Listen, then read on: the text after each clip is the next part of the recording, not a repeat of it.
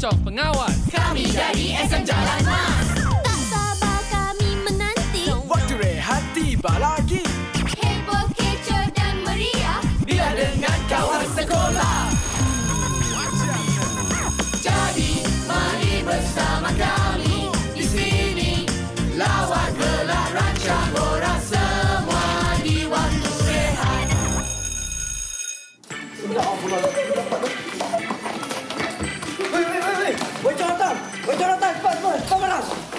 Selamat pagi semua.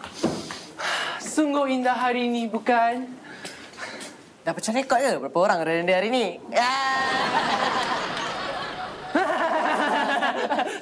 Awak berdua ni memang lucu.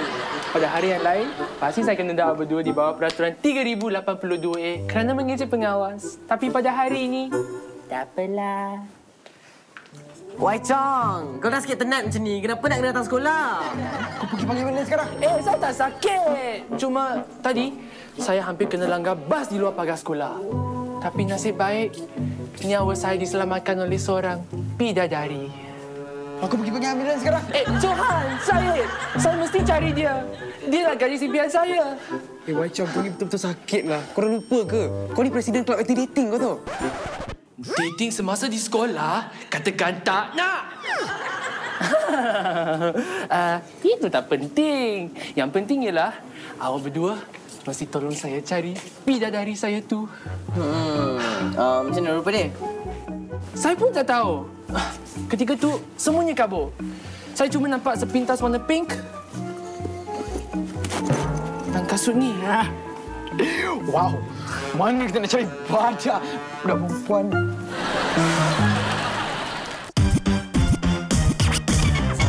Spot check! Spot check! Perempuan saja. Apa? Eh, sejak bila abang jadi pengawas pula ni?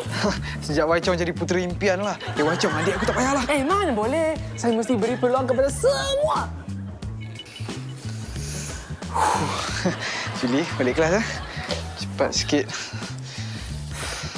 Eh, Kiran! Kira tak payahlah. Eh, mana boleh? Kena bagi peluang pada semua. Okey, terima kasih Kiran. Sorry eh. Okey dah. Tu last. Mana Cinderella kau ni, Wai Chong? Eh, dia wujud. Kasut ni buktinya. Mungkin dia pelajar sesi petang. Eh, kalau kau petang dia macam ni juga, kita heret dia pergi hospital, Syed. Eh, apa kau ni Suresh? Tak, tadi saya terjatuh kat luar pagar sekolah. Sampai kasut pun melayang. Tu pasal pakai slipper ni. Terjatuh kat luar pagar sekolah. Sampai kasut melayang. Ha ah, tengok ni. Sampai beg pun terkoyak. Dah lah ni beg adik saya. Bag ni. Mana pink? Dah lah, sebenarnya beg saya basah kena hujan. Hmm, macam ni lah, kalau korang jumpa kasut saya, pulang balik eh. Bidadari Wai Chong ni sebenarnya. Suresh! Peluang ni tak boleh disia-siakan, bro. Jom. Jom.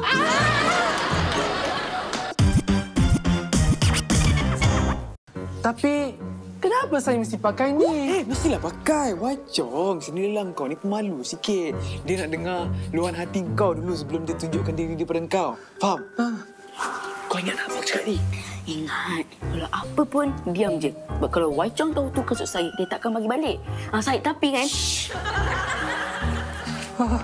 Dia, dia dekat sini ke? Ha, pandai pun.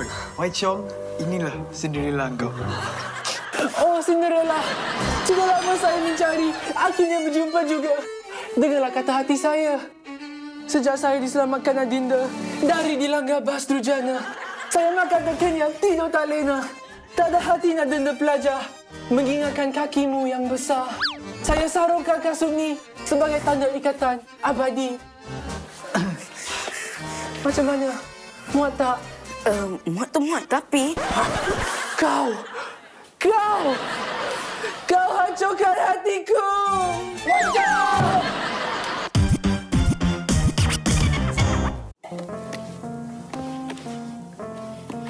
Hei, Wai Chong ni gurau sikit bengsan.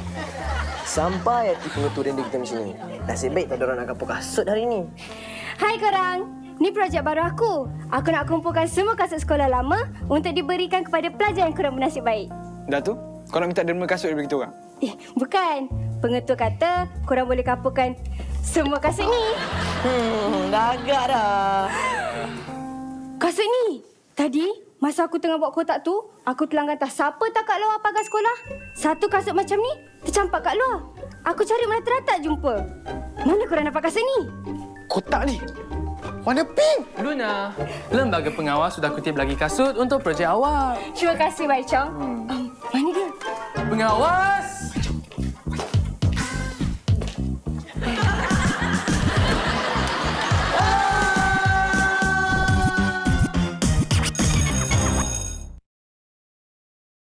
Log on to this website for exclusive videos of Walk to Rehat Challenge